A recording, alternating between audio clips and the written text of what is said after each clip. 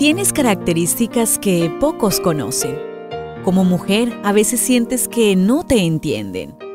Felizmente existe la devoción matutina para damas. Porque no hay nada oculto para aquel que te creó. Bienvenida.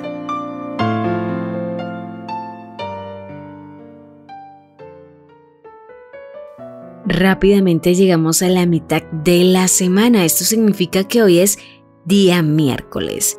Hoy quiero invitarte para que vayas al canal de YouTube Dear Ministries y nos dejes por allí un saludito. Estaré leyéndoles y dándoles un like. Hoy la meditación trae por título Dios y las costumbres, segunda de Reyes 17:33. Aunque temían a Jehová, honraban a sus dioses según la costumbre de las naciones de donde habían sido trasladados. En Samaria se celebraba una extraña mezcla entre reverencia a Dios y adoración a dioses paganos. Un sacerdote desconocido fue contratado por el rey asirio para enseñar a los habitantes a temer a Jehová.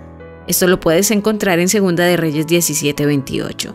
Su enseñanza contenía elementos de la fe verdadera mezclados con el paganismo idolátrico de culturas cercanas.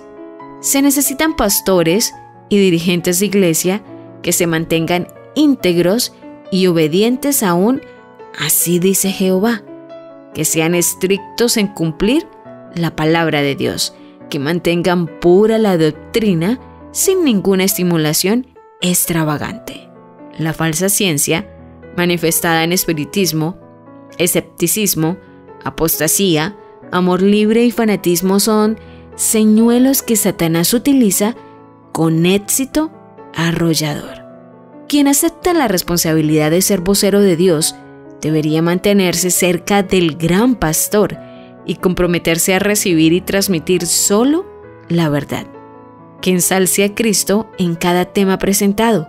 Esa será la única garantía para no caer en las redes del enemigo.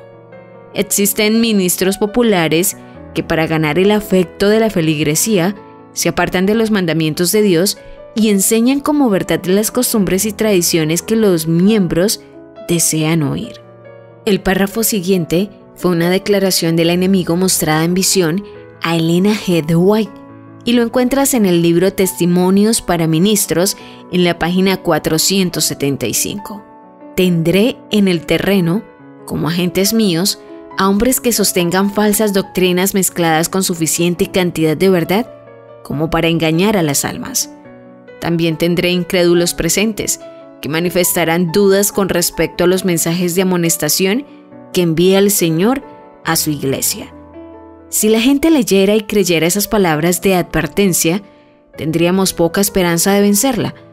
Pero si podemos apartar su atención de esas admoniciones, seguirán ignorantes de nuestro poder y astucia, y por fin los retendremos en nuestras filas. Dios no permitirá que se desprecien impunentemente sus palabras.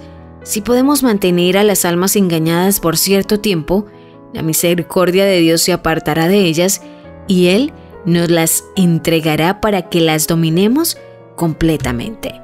Debemos producir distracción y causar división. Debemos destruir su preocupación por la salvación de sus propias almas e inducirlos a criticar, a juzgar y a acusarse y condenarse mutuamente a albergar egoísmo y enemistad. Por esos pecados, Dios nos arrojó de su presencia y todos los que sigan nuestro ejemplo tendrán una suerte similar. El poder del mal únicamente puede ser mantenido en jaque por el poder de Dios. Apropiate de ese poder.